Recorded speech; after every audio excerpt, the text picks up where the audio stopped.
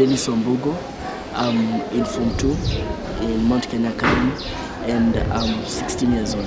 I was in the Dereti Primary School found in Kenya East in Narumoro. Um, I attained 374 marks, yeah, out of 500 marks. Mount Kenya Academy has founded up a library at our school that is in the Dereti Primary School and um, through, uh, during our year, that was in 2014, we had some people who did uh, well that were four of us that is 317 above. Um, the leading one had 406 marks was sponsored by equity. The second one had 388 marks also sponsored by equity. So we were left me and another lady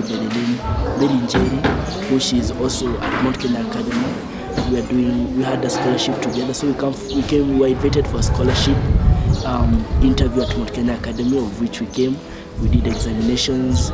We gave out our um, why we want a scholarship, and yeah, we were lucky to have a scholarship out of six students.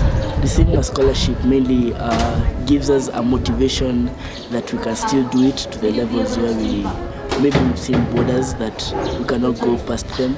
It also gives us um, a chance that we can motivate the others in the village that we can also they can also make it to this level and to work to a full best that we can help and support the rest. Having a scholarship mean uh, okay having a scholarship that's being sponsored means that you've been given a four-year scholarship from from one until from four your full expenses will have been paid by the school and and all that you'll have to pay is just the pocket money that's normally equal to everyone and um, and but you'll be paid for the four the, for the four years until you attain a minimum grade of a B plus. Every place where there, there are people who are gathered, there are normally people of different backgrounds.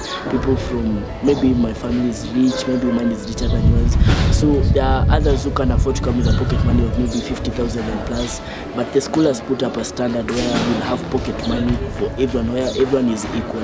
That will have everyone since you're, either you're in the IGCSE or you're in the KCSE system, you'll be paying a pocket money minimum of 4,000. The standard will be 4,000. Mount Kenya Academy, it has opened for me many doors.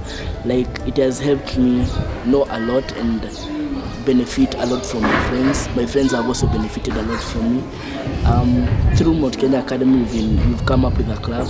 It's called Young Farmers Club, MKA. And the club is entitled at uh, feeding a hungry child outside there who maybe was like once as like for example i know outside there are many children who after primary school they don't have any other means of going to secondary school so we've set up this project um, it's a project that is entitled to help a hungry child outside there we grow we've got a small shamba within our school um, we grow spinach, sukuma wiki, and now we're starting on the strawberry project. Uh, project.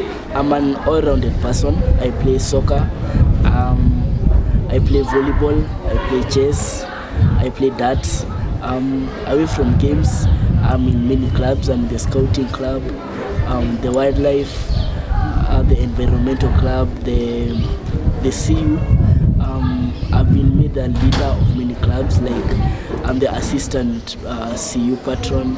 I'm the project manager for Young Farmers Club. I'm a prefect, assembly prefect. So I've been made equal with other students.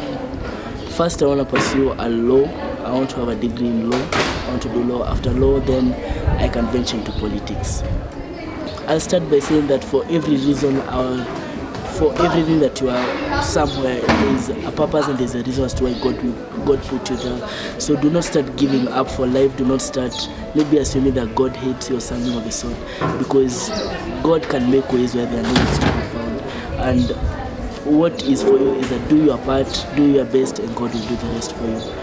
And there's always hope in every part. Um, hey, my name is Dennis Wambugu. I'm in Mount Kenya Academy Senior School, and as usual, I'm striving for the peak.